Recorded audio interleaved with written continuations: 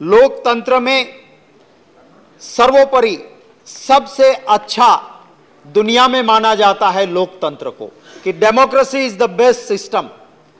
फिर भी हम क्या कहते हैं कि राम राज्य हो तो अच्छा। ये क्यों कहते हैं हम? क्योंकि वो एक ऐसा राजा था जो लोगों की आवाज़ सुनता था।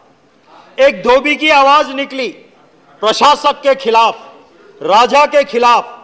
तो राजा ने उसको देशद्रोही नहीं माना। राजा ने यह नहीं कहा कि ये धोबी उसके वहाँ ईडी सीडी सीबीआई भेज दूँ।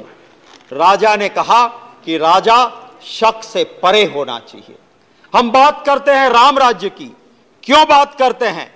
क्योंकि वो शासक, वो राजा ऐसा था कि झूठे बेर एक शबरी माँ के आए तो महिला सम्मान में वो शासक विश्वास रखता था।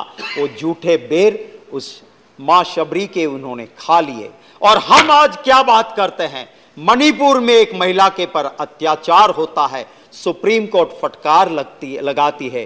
तब तक हमारे शासक को उस महिला सम्मान की चिंता नहीं होती है। तब जाके हमें चिंता होती है। हम बात करते हैं लोकतंत्र की। मैंने एक कहानी सुनी थी।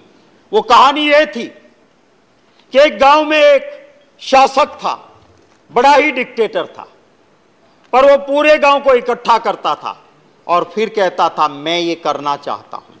और गाँव के लोग हाँ बोलते थे? एक दिन उसी गाँव का एक आदमी का बेटा, जो बाहर के राज्य में पढ़ने गया था, वो आया और उसने सुना कि बड़ी अच्छी बात है, हमारे राजा तो हमारे शासक पूरे गाँव को पूछते हैं और फिर तय करते हैं, मैं भी आऊँगा।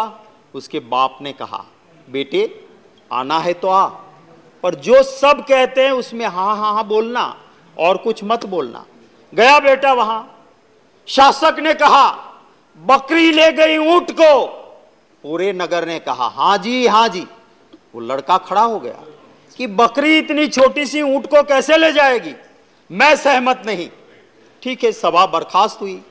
जैसे ही घर आए, बाप ने थप्पड़ लगा दी। क्या कर दिया तूने? बोले, कैसे? मैं सच बोला। बोले, नहीं। बकरी ले गई ऊँट को हाँ जी हाँ जी कहना है, क्योंकि यही शासक के नीचे रहना है। और थोड़ी ही देर में, और थोड़ी ही देर में वो आया, पुलिस वाला, कि तुमने राष्ट्रद्रोह किया है। उठा के बेटे को ले गए।